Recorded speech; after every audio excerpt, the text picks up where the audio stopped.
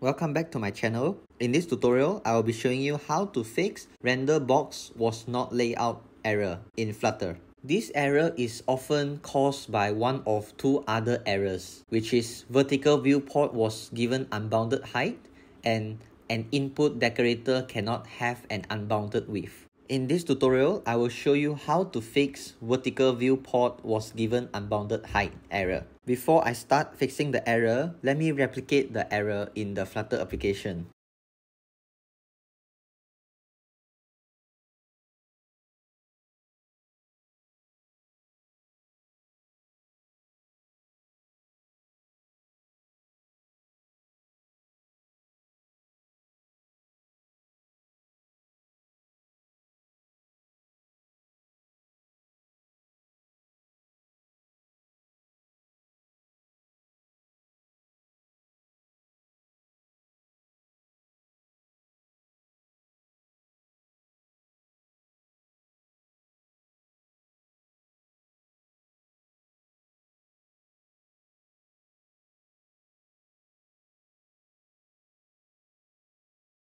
And now I have created a list view and in the list view, it has two children, which is two different list style. And now when I hot restart the Flutter application, it throws the exception that render box was not layout. And if you scroll up in the debug console, you can find out that the render box was not layout error was caused by vertical viewport was given unbounded height. And in the next line, it stated that a vertical viewport was given an unlimited amount of vertical space in which to expand.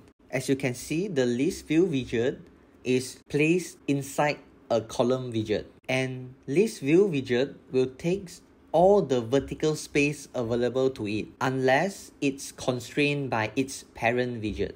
And in this case, the parent widget is a column and a column doesn't impose any constraint on its children's height by default. When the parents doesn't apply the constraint and the children widget doesn't have a specific height value, it will cause the children to expand unlimitedly. And this is what it means by vertical viewport was given unbounded height. There are multiple ways to fix this error. You can either provide a certain value height for the list view or set the list view height to match the column height. For the first way, you can wrap the whole list view with a container and provide a height value. But in this tutorial, I will show you the second way.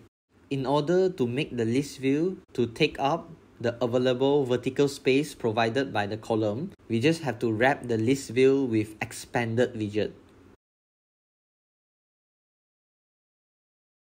And now when I perform hot restart,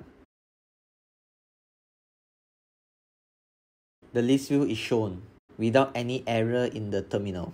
And this is how you fix vertical viewport was given unbounded height error. Here comes to the end of the tutorial. If you like my video, don't forget to like, share and subscribe to my channel. See you in the next tutorial.